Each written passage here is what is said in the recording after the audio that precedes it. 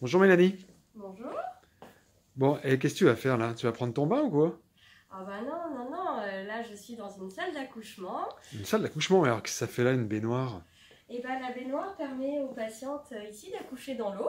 D'accoucher dans l'eau? Et bah oui. Mais quoi, des, des bébés poissons? Alors euh, non, pas des bébés poissons, mais ça permet du coup aux dames qui souhaitent des accouchements plus physiologiques euh, d'accoucher du coup euh, dans l'eau et de bénéficier de, de cette baignoire. Euh, on est l'une des seules maternités du coup à, à proposer ça aux dames dans la région Rhône-Alpes. Donc ça fait... Et ça veut dire quoi, plus physiologique en fait?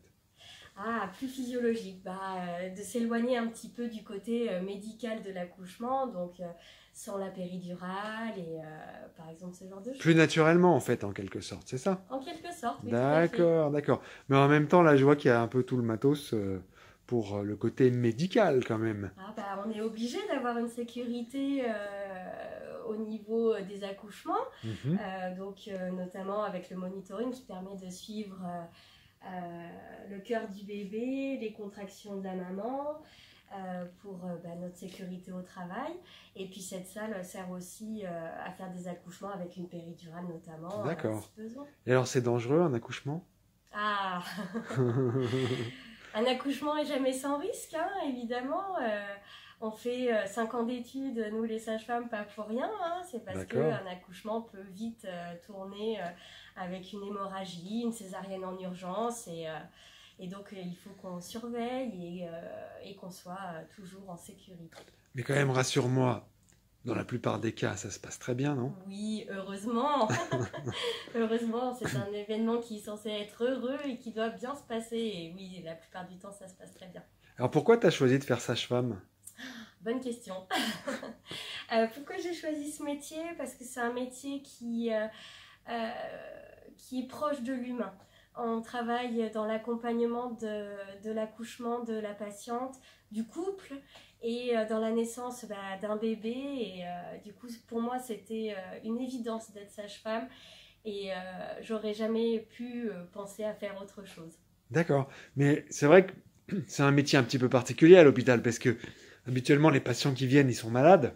Et oui, on est Mais là, c'est pas le cas. Effectivement, on est l'un des seuls services de l'hôpital où les gens vont bien.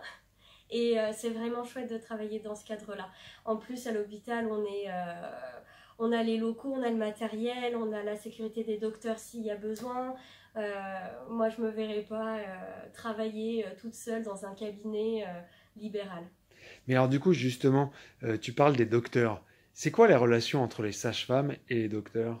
Ah bah, on les appelle quand on a besoin d'eux, hein, quand euh, l'accouchement euh, euh, vire un peu à la pathologie. euh, du coup, ils sont là et Si jamais il y a un problème, un gros saignement ou des choses comme ça. tout à fait. Ils ça. sont là en sécurité. Exactement. D'accord. Mais sur un accouchement normal, il n'y a pas spécialement le docteur. Pas besoin d'eux. D'accord. Et oui, donc vous avez un. En fait, du coup, les sages-femmes, vous avez quand même un rôle un peu plus. Un peu particulier, quoi. Vous êtes entre euh, euh, l'infirmière et le médecin. Et d'ailleurs, on parle de vous comme du personnel médical. Bon, on est tout à fait une profession médicale. Euh, on a le droit de prescription, on a le droit de faire des gestes. Et effectivement, en fait, on est une profession à part entière. On n'est ni infirmière ni médecin, on est C'est ça, sage-femme. sage-femme, oui, c'est ça. C'est ça qu'il faut avoir en tête. C'est Mm. que vous n'êtes pas, vous êtes, euh, pas du tout dans le métier infirmier, vous n'êtes pas des super infirmières, vous êtes des sages-femmes, vous n'êtes pas des sous-médecins, vous êtes des sages-femmes. C'est ça. D'accord. Bon, et alors du coup, toi, tu- ça fait combien de temps que tu es ici? Alors, euh, je suis sur l'hôpital d'Oyonnax depuis 2015. Et avant, tu faisais, tu travaillais dans un autre établissement ou tu as fait tes Oui, études? alors moi j'ai bougé un peu partout. Euh, j'ai été diplômée en 2013 à l'école de Bourg-en-Bresse. D'accord. Et puis bah, j'ai travaillé un peu sur Lyon, un peu dans la Marne, pour euh, atterrir ici. Finalement. Et, et je n'en bougerai pas parce que je suis très contente de mon hôpital. Eh Ben oui, ça fait, ça commence à faire un petit moment, donc effectivement, tu dois être contente. Et du coup, c'est combien de temps les études de sage-femme? Eh ben c'est 5 ans.